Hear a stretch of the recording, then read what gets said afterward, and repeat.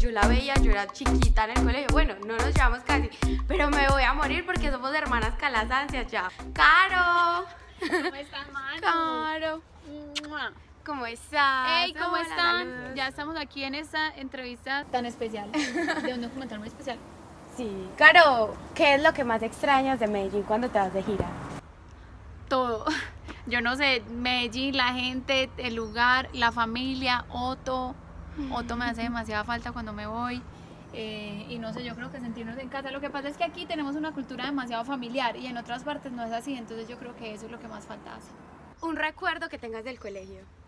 Ah, un recuerdo que tengo del colegio, no sé, era súper necia. Era demasiado necia, extremadamente necia. Y eh, me acuerdo que me decían que el décimo y once lo hice en el de Bogotá y el de Medellín. Cuando llegaba a Medellín me decían que había llegado la oveja negra que descontrolaba el salón.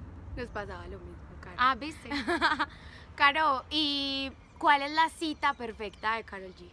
Una cita perfecta de Carol G. mm, ay, no sé. Es que yo no, con que me hagan reír y, y una persona que no, que no tenga el celular, es que ya encontrar gente como que sea despegada de las redes sociales es súper difícil, pero una cita perfecta para mí es un celular muy, muy lejos y estar con la persona, nada, uno conectado, hablando, rico, no sé, tomándose algo rico, unos vinos, no soy de mucho licor, entonces no sé, comiéndose algo rico, comida chatarra, sin celular.